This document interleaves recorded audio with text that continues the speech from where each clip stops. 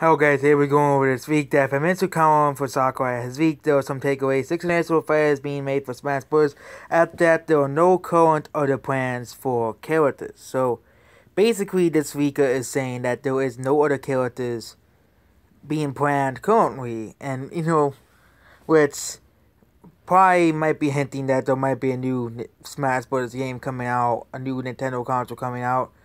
And the reason why Smash 4's DLC didn't hit wasn't that long, because how the Wii U wasn't really doing that well. The Wii U wasn't selling, so of course, you know, the DLC was only for like a year or so.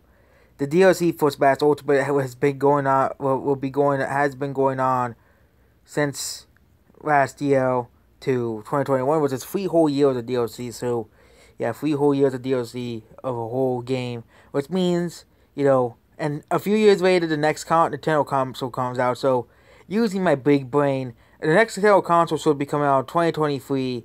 And I think Nintendo continue supporting this game in some way. And, you know, and, you know, Nintendo decided if DLC characters, DLC Sakurai did not, basically. So, yes. So that means there won't be any more DLC characters after the six characters, which we all, which we got 11 characters, which I think is more than Smash Bros. 4, where they got 7, and 3 of the characters were returning characters. And no, actually 12, because of Piranha Plant. So, first phase pass was, you know, 5 characters, excluding Piranha Plant, which means there have been 12 additional characters in Smash Bros.